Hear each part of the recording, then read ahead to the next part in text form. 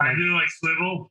Okay. And, and, I can still keep a good a good consistency, you know, up to a certain tempo. And, and so I just try to make it work, you know, because I like the sound of an acoustic kit. I just yeah. do. And, and, and, and the, the, kits I have, like the, the I currently play the, the Star Classic Maple for the most part.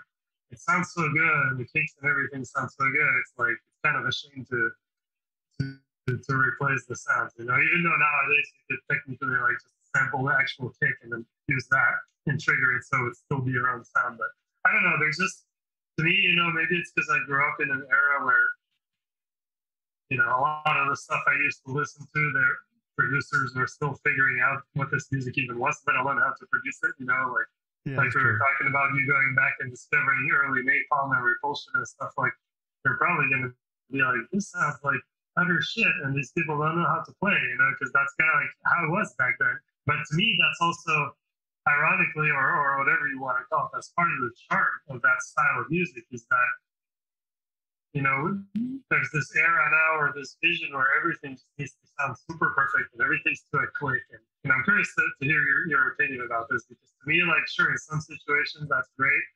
And I get why people do it. Yeah. people get used to hearing this stuff of high quality and it's cool. But I'm also very relieved to see that there are still bands current day bands that are, you know, that understand that things like thrash metal and death metal and grindcore and black metal needs to be grimy and evil and and not really clean. And even rock and roll, you know, like to, to, to speak more to like some of that where you're in, it's like yeah. it's not all about like if it's too shiny and perfect, there's not that much rock and roll left about it, in my opinion. You know, I mean, to a degree it works, but you know, there needs to be some kind of live feeling and some kind of rawness and maybe kind of teetering off the edge at times that that you don't get when you play everything to like here's the tempo for the song you know? Like here it is like stick to the tempo you know? I mean i do it all the time because i have to do it but yeah. I try to, to stick to you know I, I try to infuse it with as much humanity and, and kind of flow as i can because to me like when you don't watch say the stones you know charlie parker i mean charlie watts rest his soul you know yeah. I saw him. Luckily, my wife and I got to see him a few times when, when Charlie was still in the, still alive, you know, and still Amazing. doing his magic.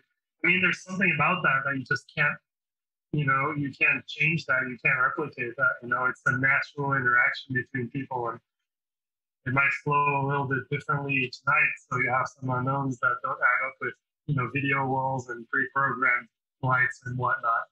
But to me, that's part of the beauty of this kind of music.